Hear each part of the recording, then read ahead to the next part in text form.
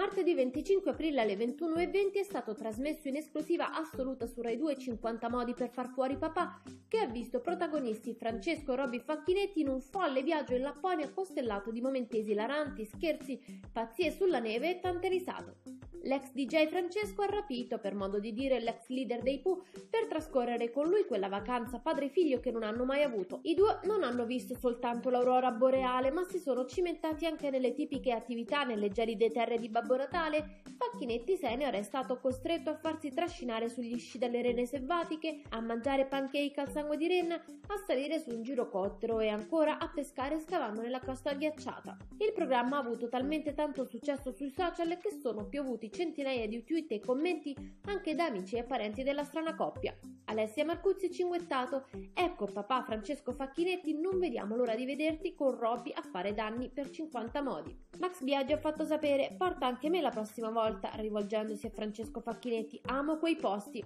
Robby Facchinetti hai tutta la mia solidarietà.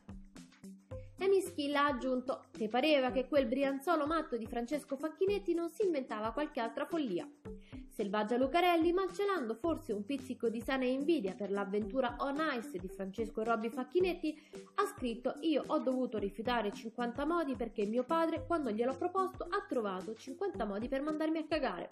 Infine riportiamo il commento del sopravvissuto tastierista dei Pooh che ha ringraziato il figlio su Twitter e gli ha detto Grazie per questa fantastica vacanza.